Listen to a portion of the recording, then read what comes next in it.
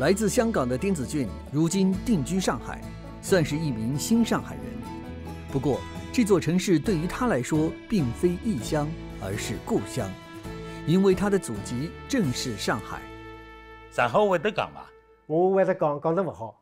哎，侬应该老发上海话嘛，很老式的那种老式的。其其实我不会分是老的新，因为我的上海话是大大呐教我了。哦，就爷爷爷爷爷奶奶教侬的。爷爷奶奶，现在就叫爷爷。爷爷叫爷，那那叫大大奶。大大奶。哦，这个是好像本地人搿能讲法。呃，应该是本地人吧。那么，呃，这个大大奶，等侬讲过，㑚老早住辣啥地方？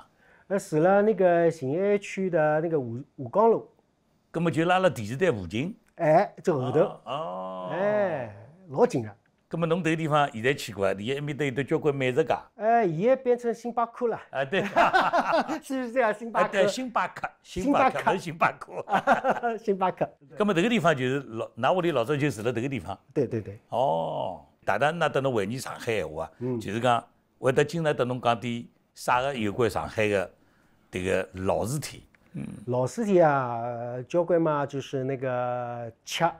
嗯，上海菜哪能好吃啊？那屋里吃点啥上海菜？呃，来无肉丝啊，什么那个八宝辣酱啊？可以可以可以可以。呃，那个烤麸啊。哦，呃，搿是老典型的上海菜。呃，非常老的上海菜。还有就是跟我说一下，就是上海的一些文化。嗯，比如呢？比方说电影文化。嗯。其实，在呃我们的历史当中，电影比较早进入是上海嘛。嗯。比方说我的打单呐，他们约会会去看电影。哦。啊，比方说在呃那个胜利电影院啊，嗯啊或大光明啊之类的。嗯嗯。所以我在六岁那一年，很小，就记得我的奶奶把我带回来老家，呃，其中有一天去看电影。嗯。